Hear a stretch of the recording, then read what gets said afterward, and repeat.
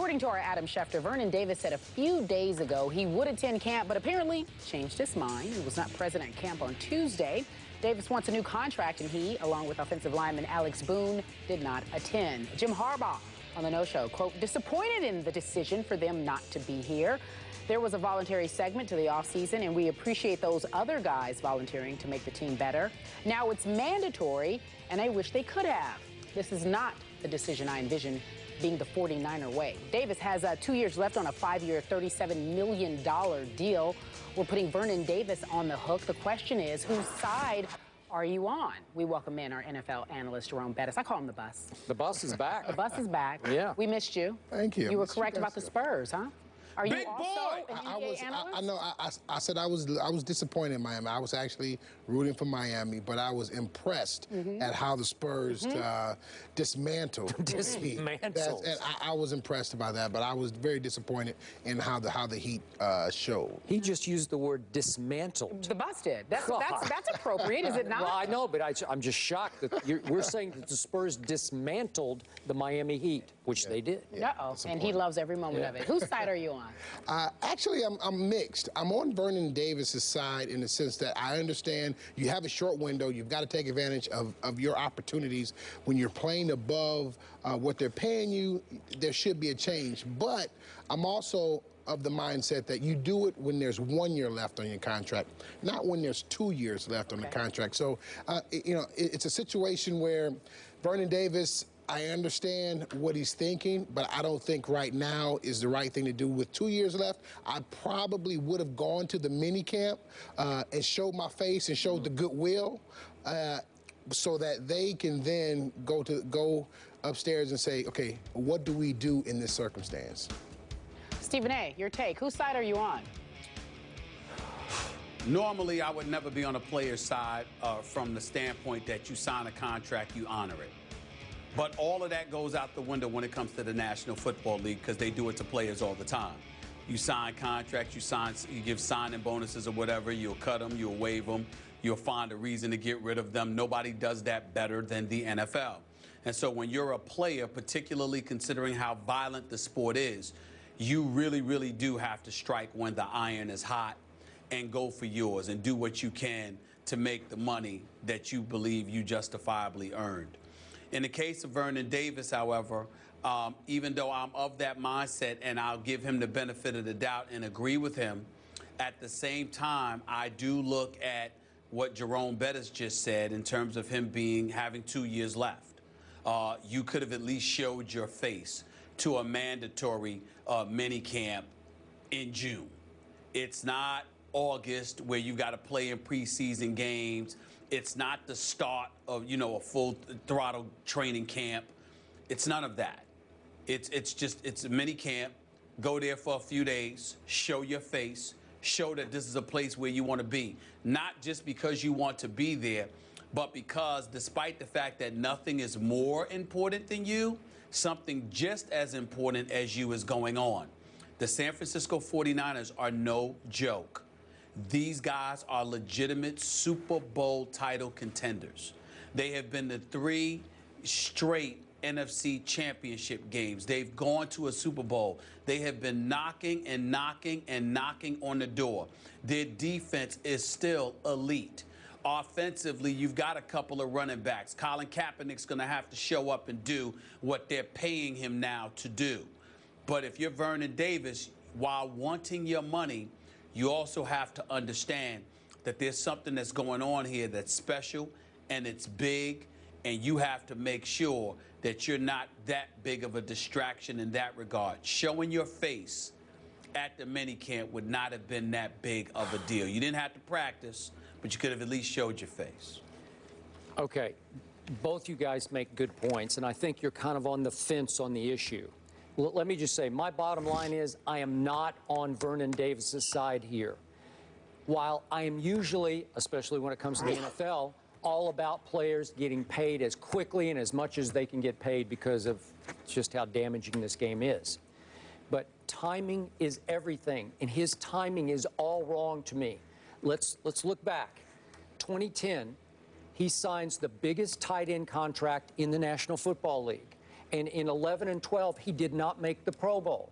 Last year, 13, he did make the Pro Bowl, and it was only his second in eight years. So we're not talking about superstar here. And then in last year's playoffs, we're talking about timing here. Yes. It, it, Yeah. there, there wasn't much Vernon Davis sighting going on. Two, the game, the game two in Green Bay. receptions. Well, he got two for 37 at Green Bay. At Carolina, one catch for one yard. Again, he might have been triple teamed for all I know, but one catch Right. for one yard.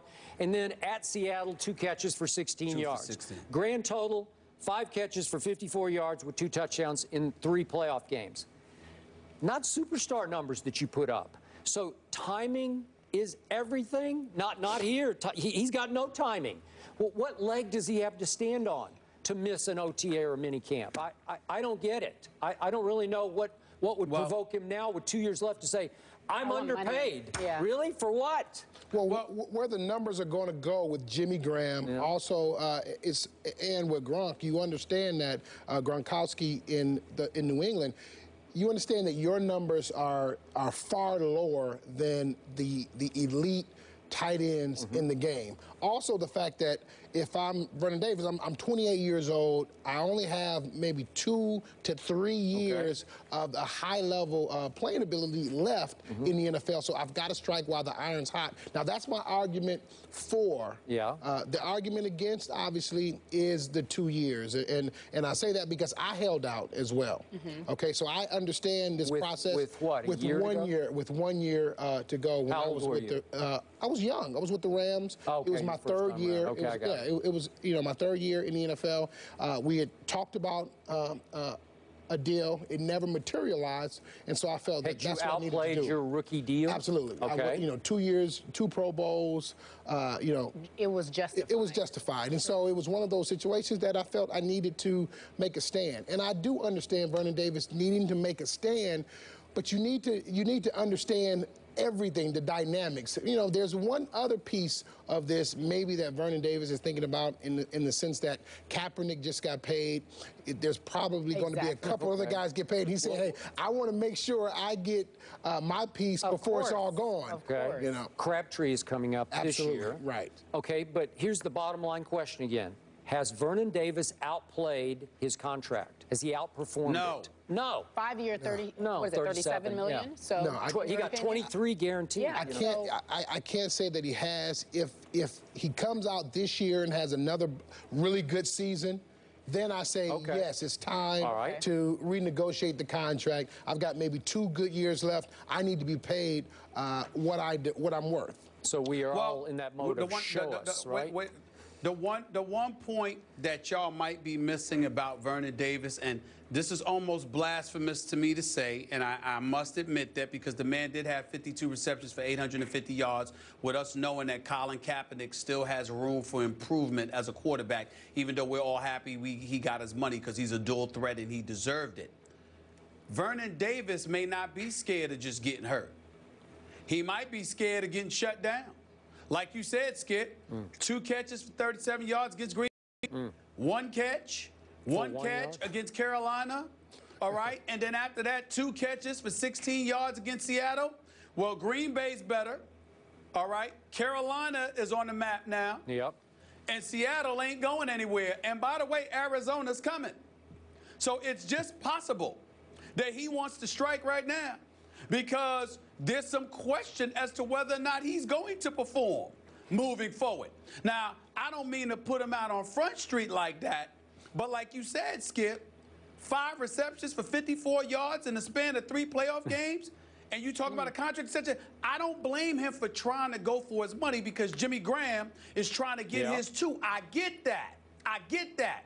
But when you refuse to even show up to minicamp, you are now bringing unnecessary attention to yourself because it's because he didn't show up yesterday that we're sitting here and talking about this now. Had he showed up, Skip, we might not even be talking about it. If he just didn't participate, but he showed his face and he was looking to have his contract redone, I don't know if any of us are sitting here today going like this.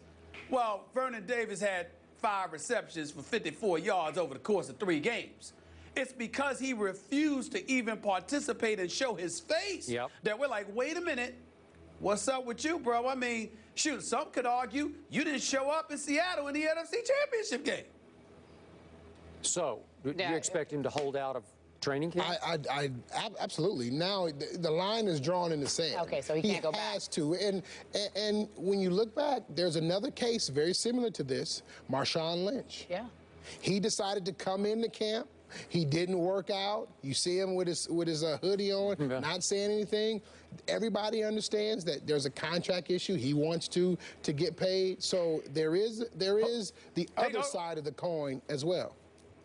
One quick note, Skip. The other day, man, we were at the finals, and you know we had we had one. Of the, it wasn't, we, we were never off, but in, in, in sometime in the afternoon, I think it was a Saturday afternoon. I forgot what day it was.